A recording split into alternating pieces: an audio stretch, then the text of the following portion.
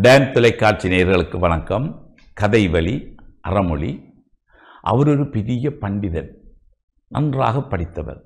வேதங்கள் இதிகாசங்கள் புராணங்கள் எல்லாவற்றையும் கற்றுத் தேர்ந்த பண்டிதன் அவரிடம் சில விடயங்களை தங்களுடைய எதிர்காலத்தை பற்றி இனிமேல் நடக்கப் போவதை பற்றி எவ்வாறு வாழ்வது என்பது பற்றியெல்லாம் அவருடைய அந்த ஊர் மக்கள் எல்லோரும் வந்து அவரிடம் அறிவுரையும் ஆசையும் பெற்று செல்வார்கள். அவ்வளவு சிறப்பான ஒரு பண்டிதர். அவர் ஒரு நாள் அடுத்த ஊருக்கு செல்ல வேண்டிய ஒரு தேவை ஒன்று ஏற்பட்டது. அந்த ஊருக்கு இடையிலே ஒரு ஆறு ஓடிக்கொண்டிருந்தது. அந்த ஆற்றை கடப்பதற்கு ஒரு மிதப்பு மிதப்பிலே தான் செல்ல வேண்டும். அங்கே ஒரு அது ஒரு ஒரு சிறிய படகை சிறிய படகு ஒரு படகோட்டி சிறிய படகுடன் இருந்தான். இவர் போய் அந்த படகோட்டியுடன் கதைத்து அடுத்த ஊருக்கு புறப்படுவதற்காக அந்த படகில் ஏறிக்கொண்டார். இப்போ மெல்ல மெல்லமாக படகு அசைந்து கொண்டிருக்கிறது. படகோட்டி செலுத்தி கொண்டிருக்கிறான். ஒரு காவலாசி தூரம் சென்றிருக்கும்.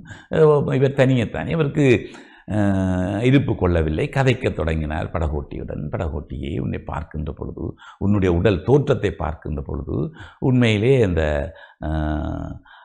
ராமாயணத்திலே வருகின்ற குகனைப் போல அவனும் உன்னையை போல தான் அவனும் நல்ல கட்டான உடல் ரோம கட்டுடையவன் நல்ல பலமான க கைகள் கால்களை பெற்றவன். அவனைப் போல் இருக்கிறது என்று சொன்ன பொழுது இவன் கேட்டான் யார் அந்த குகன்?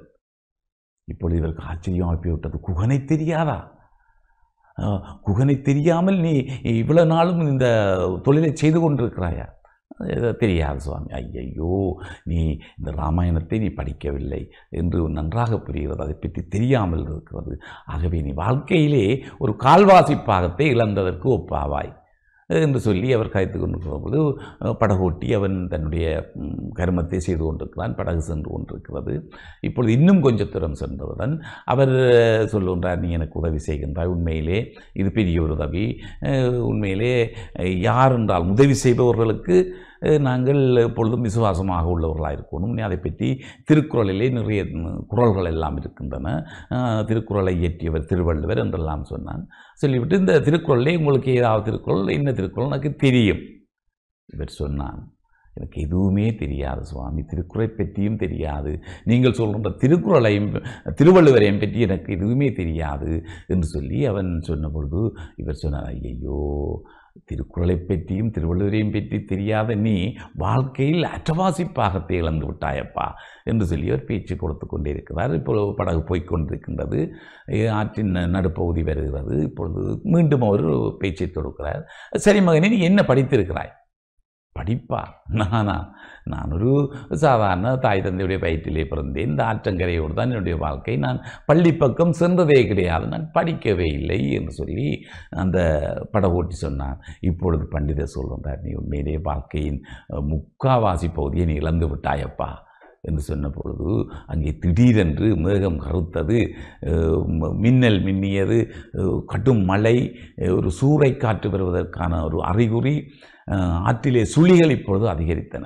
இப்பொழுது படகோட்டி கேள்வி கேட்கிறான். சுவாமி நீங்கள் நீந்துவீர்களா? உங்களுக்கு நீந்த தெரியுமா?